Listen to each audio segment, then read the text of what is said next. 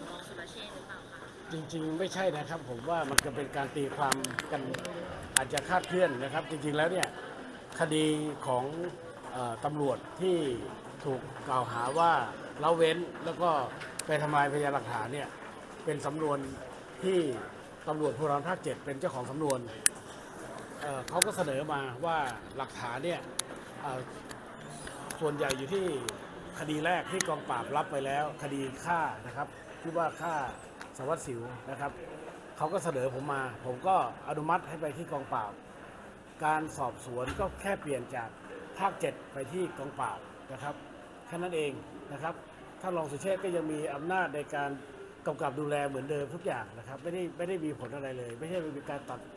หรือเอ่อริดรอนอำนาจเลยนะครับอาจจะเป็นการตีความผิด ผมคดีแรกก็เขา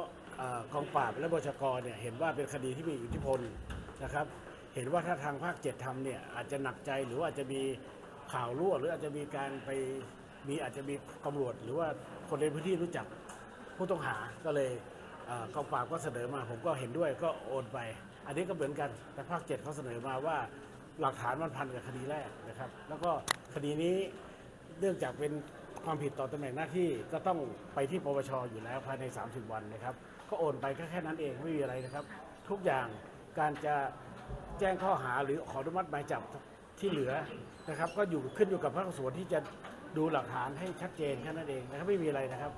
เบื้องต้นท่านได้เคลียร์ใจกับท่านรองสุรเชษฐ์ส่วนตัวไหมคะจริงๆก็ได้คุยกันแล้วนะครับก่อนหน้านี้อาจจะมีการสื่อยังไงผมก็ไม่ทราบนะแต่จริงๆผม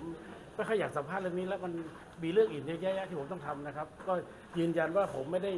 มีการไปนิดรอนอำนาจอะไรเลยครับก็เป็นแต่ว่ากำกับดูแลเหมือนเดิมได้เหมือนเดิมทุกอย่างนะครับ ตามเอ่อที่ผมได้มอบหมายให้เป็นรองผู้จัดการที่ต้องช่องการสืบสวนสอบสวนนะครับค่ะท่านผบเองน้อยใจไหมคะที่ถูกสังคมมองว่าท่าน ไปริดรอนก็ก็มันก็เดี๋ยวนี้สื่อต้องยอมรับมันเยอะไปหมดนะครับเดี๋ยวก็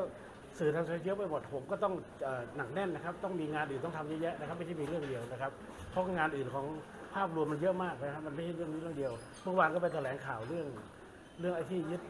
ยึดทรัพย์สินมามาให้กับผู้เสียหาย ซึ่งนี่สำคัญมากนะครับที่ว่าช่วยเหลือผู้ผู้เสียหายได้ตั้ง 3,000 กว่าคนนะครับ ก็อยากให้สื่อพูดถึงประเด็นนี้มากๆหน่อยนะครับครับผมครับ